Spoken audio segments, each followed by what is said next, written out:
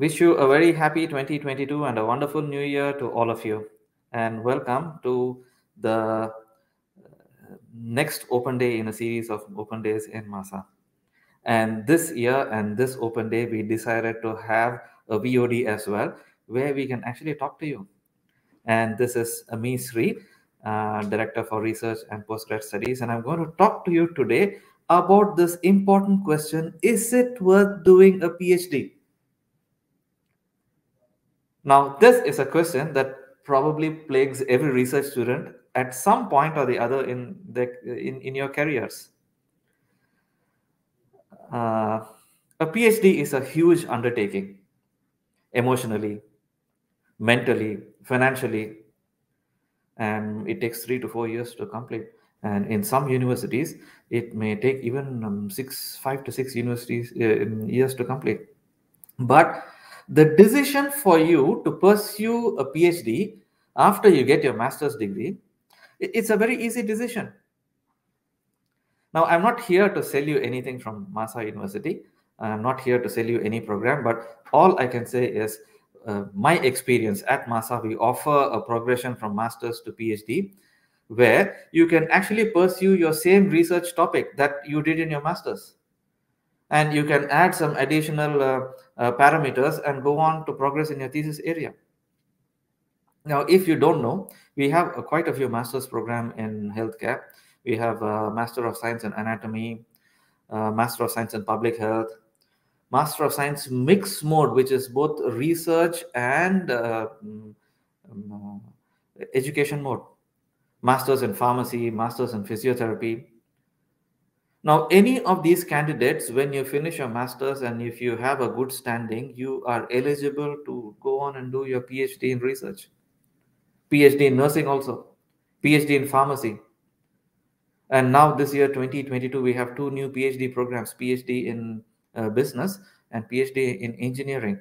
Now, in business, the MBA programs will lead on to the corresponding PhD.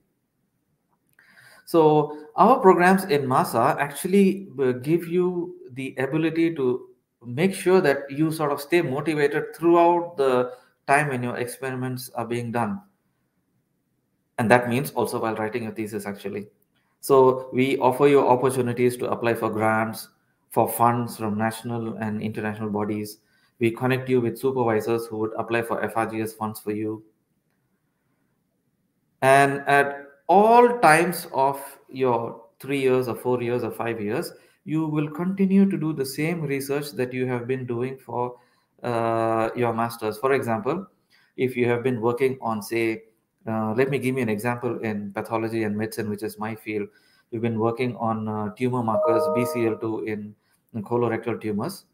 You can go on and do an immunohistochemistry in c-MYC and P53 in colorectal tumors as well using the same clinical material but additional immunology, immunological parameters, or FISH, fluorescent in, in, in situ uh, hybridization.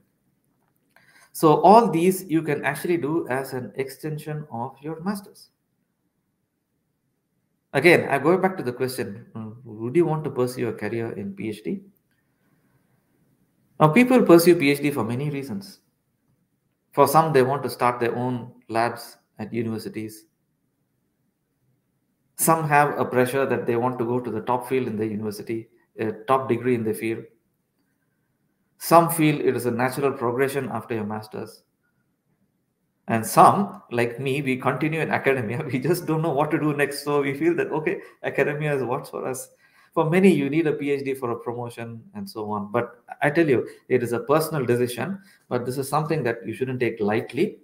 We have a we have a diverse range of faculties in MAHSA we offer courses in dentistry medicine health sciences pharmacy.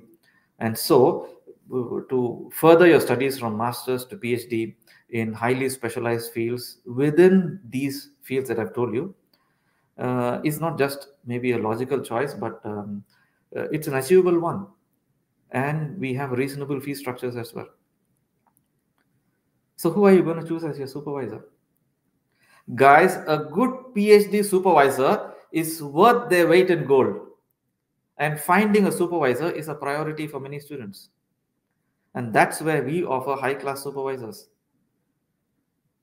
to whom you will be uh, committing your topic and your work for three to four years. You would be under the mentorship of the supervisor. And not just the supervisor, you have to be passionate about your research topic. And uh, our program that we offer is rightly structured just to make sure that your passions are kindled. That's the best word. And we'll make sure that you work on something that you care about. We won't trust any other work, uh, any other um, PhD topics that we feel isn't your forte. That will not be compelled to you. Okay. So with this in mind, uh, uh, I hope you guys uh, take a right decision on whether to join PhD or not. And if so, you guys can decide on uh, what topic to choose and what supervisor to choose and what university to choose. And when it comes to the question of what university to choose, as I said, MAHSA offers you um, some of the best supervisors. We have over 60 trained supervisors and uh, good research facilities and opportunities for you to apply for national grants and international grants. And um, above everything, uh, you have a chance to progress from your master's to PhD without searching for any other universities.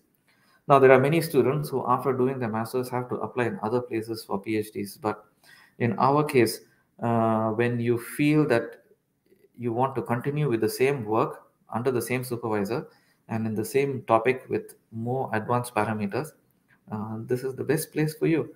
And we insist that all our students publish their research work in ISI and Scopus papers. So we are also making sure that uh, you develop your CVs while you apply for um, career opportunities and job prospects um, world over. So welcome to MAHSA guys and um, have a good time with your education here. If you have any doubts at any time, feel free to uh, call me or any members in my team. We're always ready to help you. And happy hunting for a suitable course, a suitable degree, and a suitable subject of your choice.